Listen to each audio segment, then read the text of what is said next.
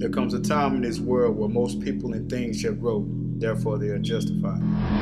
To show to have had a sufficient legal reason for its purpose and state of being. To qualify oneself as a surety by taking oath to that ownership of sufficient property and gaining true respect for that ownership. To administer justice to his or her craft, believing in the tools and talent in that which they possess. CBJ.